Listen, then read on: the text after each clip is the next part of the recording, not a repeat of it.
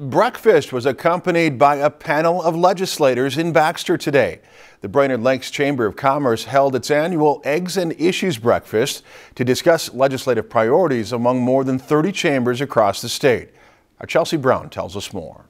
After Tuesday's caucus, the discussion still continues in the Brainerd Lakes area regarding legislative progression at the annual Eggs and Issues panel. So we can hear from our legislators on the issues that impact the business community and to really let our voices be heard in that whole process. With numerous business leaders in attendance, reducing property taxes was a major concern.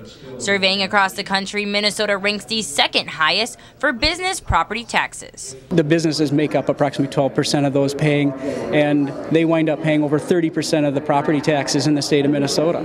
That's not fair. I think that the businesses here were, at least they felt like the, the growth was moving in the right direction, that they were heading that direction, but they wanted to make sure we paid attention to some of the things that could prevent that. Part of the conversation included a live text vote where guests were asked where they would put their savings if business property taxes were reduced. A majority selected facility improvements and employee benefits, which reassured many representatives the importance of helping small businesses. It reaffirms that, that these guys all know that we're overtaxed, we're overregulated the government is just keeps keeps meddling more and more and more, and, and those that were here want less and less. To add to that list of priorities was securing bonding support for the Cuyuna Mountain Bike Trail expansion. The expansion would add over 50 miles of new trails with the project expected to increase annual economic impact by $21 million.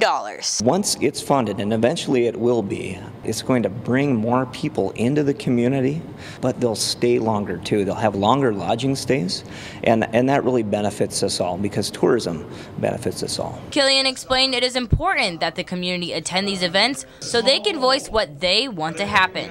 In Baxter, Chelsea Brown, Lakeland News. Other topics on the agenda included improving transportation in the area, consistency in wages and benefits at the state level, and preventing lawsuits for disability access. If you've enjoyed this segment of Lakeland News, please consider making a tax-deductible contribution to Lakeland Public Television.